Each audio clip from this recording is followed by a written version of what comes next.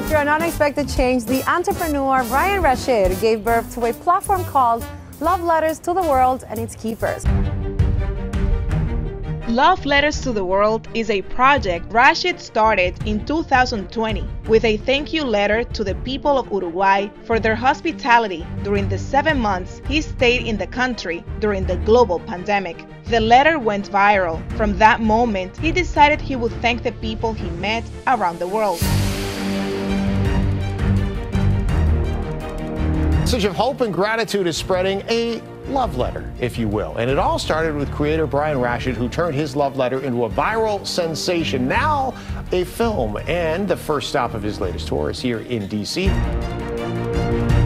There is a viral movement spreading called Love Letters to the World that has reached the Allentown area. Why do you think people are so excited about it? Because we oftentimes hear and promote the bad things about our city. And this is an opportunity for people to say, this is what I love about my city.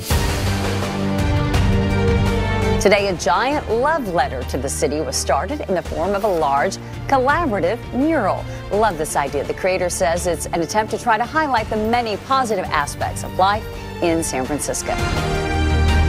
Wherever you live and whatever you do, there is beauty in front of you right now if you open your eyes and your heart to see what that looks like.